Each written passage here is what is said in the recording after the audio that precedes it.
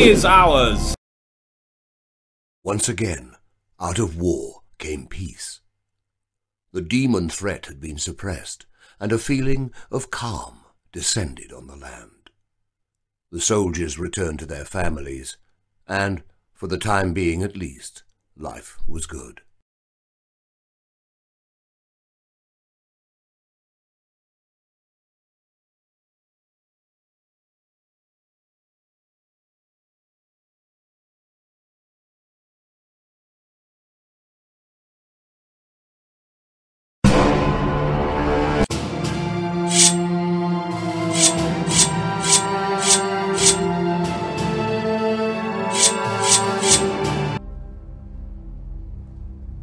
For nearly two centuries, the land of Beneril has enjoyed peace. But behind a pretense of friendship, old prejudices still simmer. The inhabitants of this land generally stick to their own and try to tolerate each other as best they can. And this has been sufficient for a long time. However, an old threat has once again cast a shadow over the land. A threat that was thought to be confined to history books and old tales told around a campfire. A tortured race from the north, once known as the demons, are growing in numbers and summoning giant beings from another realm. Their influence already affects all, causing moods to darken and tempers to fray. All beings in Beneril can sense war is coming. It is only a matter of when.